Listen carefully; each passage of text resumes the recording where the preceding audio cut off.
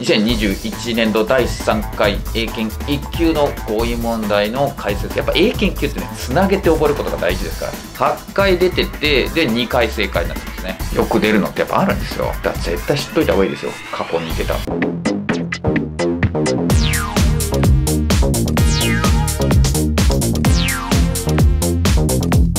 そうで始まりました。もちつチャンネルです。さあ、今回はですね、2021年度第3回英検1級の合意問題の解説をしていきたいと思いますね。はい。今回出てきた問題どうだったでしょうか？結構難しいのも入ってますね。今回、駆動詞の問題できる人はできる。見たことない人は悩んじゃうって差がつくんじゃないかなとちょっと思いましたね。はい。受けた皆さんどうだったでしょうか？そして、英検1級、どんな単語が出てくるのかっていうのね、知りたい方はぜひ見ていってください。今回も英検1級語彙問題対策ならこれ最強アプリのデタタンの提供でお送りいたします。今回の問題だったんですが25問中でですねデタタンの収録は24問。まああの語形変化のものはちょっとあるんですけども24問的中しております。で、出たたには準1級もあるので、準1級も合わせれば25問全部カバーしているということになりますね。素晴らしいですね。その正解になった単語たち解説していきますし、プラスで何回過去に出題されているのかも発表していきますので、ぜひその辺のね、出題情報も知っておいてください。まあ、英検の参考書なんていうのはね、過去9回分までしか載せられないので、過去問ね。それより前のね、単語も知っていきたいんだったら、ぜひぜひデータ単やってみてください。では、見ていきましょう。1問目。flimsy ですね。はい。なんかこう、脆いとかね、脆弱であるとか、弱いことを表す表現ですね。今回はドアと一緒に使ってましたね。だこう、脆い、壊れやすいっていうのを表しました。過去に5回出題されてて、でしかも3回正解になってますからね、これね。だもう押さえておくしかないでしょう。そして2問目は、eviction ですね。これ、立ち退きっていう表現ですけど、まあ、データ単にはこの多動詞の evict この立ち退かせるが出てるので正解はできたでしょう。後ろに from もついてましたしね。こっから立ち退くってことね。で、イビクション自体は初登場になりますね。ただ、イビクトが過去に出ているので、できた人は多いんじゃないかと思います。で、次は propagation ですね。まあ何かしらこう伝達。今回はコミュニストのね、共産主義の考え方っていうのを広めるのを禁止するっていう文脈で出てましたね。まあ、プロが前でね、その前に伝えていく、普及していく、伝達していくってイメージを持っとくといいですね。プロパガンダなんていうのは、プロパガンダとして日本語になってますからね。だからこれはできてほしいかな。え、過去2回出題されて、1回目の正解になりますね。50%です。正解になる確率、今のとこ50%。で、え次の単語は mesmerize ですね。まあ、これは知っといた方がいいですね。催眠術をかけるから、こう魅了するっていうやつで、使いやすいです、実際。いろいろ英作文とかスピーキングでも。なんかこう、アトラクトしか使えない人ね、他の表現も知っといた方がいいですよ。過去2回出場、出場っておかしいか。過去2回出題されてて、で、2回とも正解になってます。だから正解になる確率、今のところ100%です。絶対覚えておきましょう。エンチャントなんていう言い換えもね、知っとくといいかもしれないですね。次がフェイン。ああ、これもね、何度も見てますね。英検の問題で。でこれ、でっち上げるとか装うってやつですね。今回は、 innocence。やってないよっていうふりをしたってですね。無罪を装ったってことですね。もともとこれ、フィギュア、形作ると来てるので、をでっち上げるっていうのは覚えやすいですね。5回出題されて3回正解になってますから、かなり多いね、これも。で、次の berate。あ、これも何度も見てますね。自分自身英検の問題で。過去に4回出題されて、3回正解になってます。相当正解になる確率が高い。で、叱りつけた人をこのことでっていう人、フォー、ことの形で出題されてますね。次の問題は知っといてほしい。アことは知っておくといいですね。これトイックでも出題されますから、近いってやつね。近隣の adjacent house の形で出てますね。 adjacent to の形でも出てきたりすることがありますね。で、2回出題されてて、1回目の正解になってます。で、次が amiable。はいはい、感じのいいとかね、友好的なとかっていうやつだよね。これはまあ初めて登場してます。ただ、出た単には名詞の amiability が出てるので、で、似たようなスペルのやつ、 amicable ですね。こっちも友好的ななんで、スペルも似てるし覚えやすいんですよ。この ami ってこれ amigo って言うじゃないですか、友達のこと。フランス語でも ami って友達のことですから、だから覚えやすい単語です、これ。次が interject ね。はい。 inter 間でしょ？ ject は投げる。そこに入れるっていうですね、言葉を差し挟むとかってやつでね。今回は your opinion です意見を差し挟むって書いてますね。into a conversation, conversation にっていうね。え次の表現、あ、これレベル高い単語だけどね、infraction っていう表現ですね。違反とか侵害ね。Traffic infraction っていう形で出てましたね、今回はね。いや、レベルが高いから難しい単語ではありますね。まあ、3回過去に出てて、1回目の正解ですね。で、あれと繋がるんですよ。語源をたどれば infringe。これも違反するとかっていう意味だと思うんですけど、それと繋がってスペルも似てますよね。なんで、まあ、これと繋げて覚えておくといいです。やっぱ英検級ってね、繋げて覚えることが大事ですから、一つの単語を覚えておしまいよりも、他の単語と繋げて覚えた方がお得ですからね。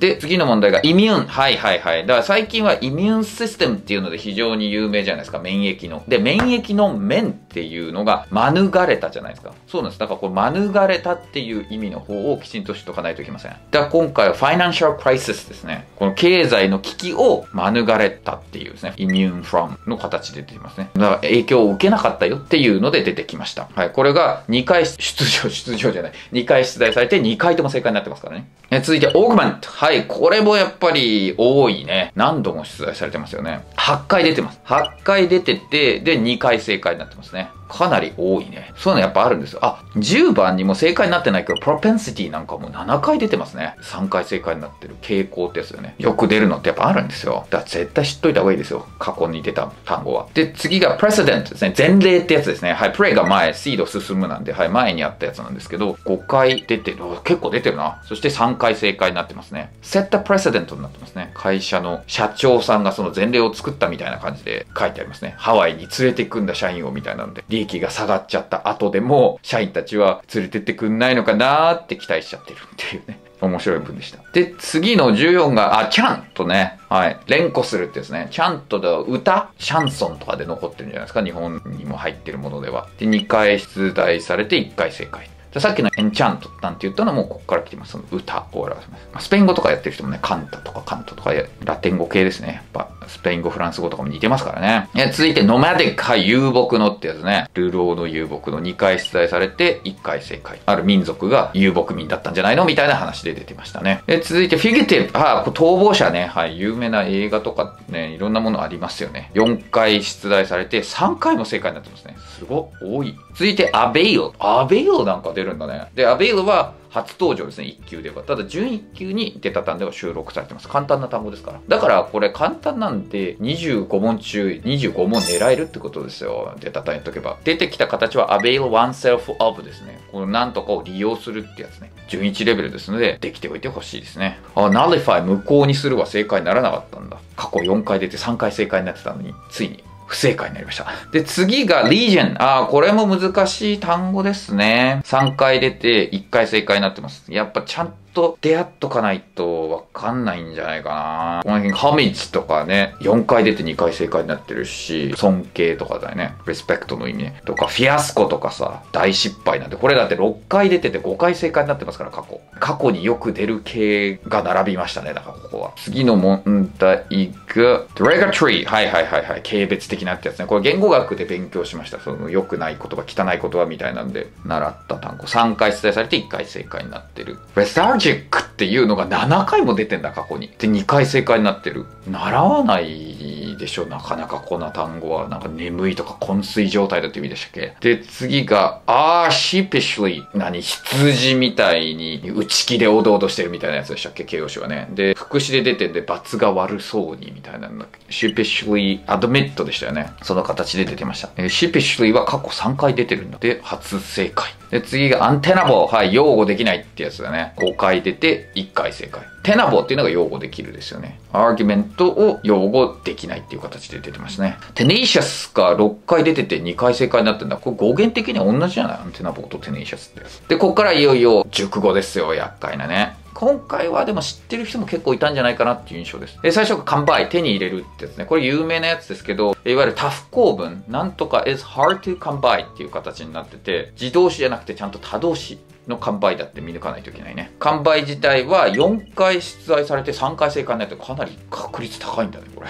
で、次はピックオフ、狙い撃つってやつです。そう、ピックが選ぶなんで覚えやすいですね。で、今回は人間じゃなくて、ライオンがシマウマを狙ってました。他の表現たちがね、相当難しいんで、選択肢に出てたものが、やっぱこれは過去の問題やって知っておきたかったですね。で、次がバックルダウンですね。そう、バックルですよ、これ。ね、ちゃんとこう引き締めるみたいなとこから来たやつね。真剣に取り掛かるとかってやつでしたね。ちょっと真剣にやって勉強しなきゃみたいな文脈で出てました。ぜひ覚えておきましょう。4回出題されて3回正解になってで、次がクロップアップ。はいはいはい。問題なんかが生じるですね。なんかクロップってところは作物的なもんなんで、なんか実を結ぶでプラスの意味思い浮かべちゃう人もいると思うんですけど、クロップアップってこれ、まあ、ショーアップとかと同じ、これ、現れるとアップ相性がいいじゃないですか。で、で、なんか問題とかが出てくるっていうので、今回問題が生じるっていうていうので出ていましたね。まあ、思いがけなくそういうのが出てきちゃうよみたいなんで使う表現です。はい、どうだったでしょうか？かなりレベルが高かったですね。だからこういう時にこそ倒すのにデータ単が役立つわけですよ。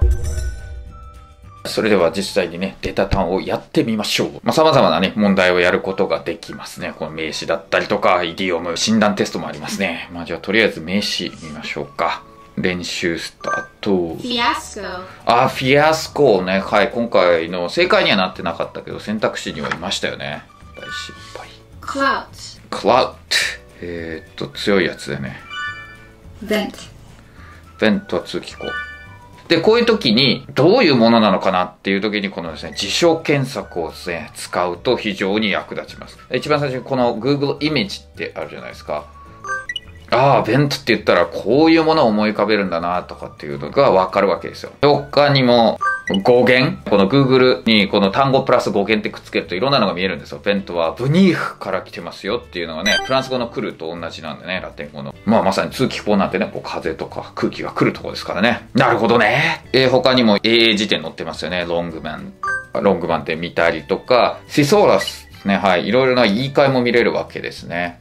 Thesaurus.com でこんなのがありますよっていうのも見れるし、 YouGlish ね、発音がね、どういう風に使われているかなんていうのも、えー、見たりすることができるんですよ。で、これは簡単だから、よ animosity。animosity とか、発音めんどくさいじゃないですか。で、どうやって使われるのかもわかんねえし、こんなのっていう時に、この YouTube の動画内でどう使われてるかを見せてくれる YouGlish に飛べる。has resulted in much animosity. We have all too often friends with the Jews. In fact, they seem to regard each other with animosity. So the Samaritan っていうふうに、あ、with animosity なんていうふうに使ってるなとかっていうのが分かったりします。えさらには、え自分自身持ってる辞書いっぱいありますんで、そこの内蔵辞書から見ることもできますし、この物書き堂に飛ぶことができますね。はい、物書き堂の辞書アプリに行くことができます。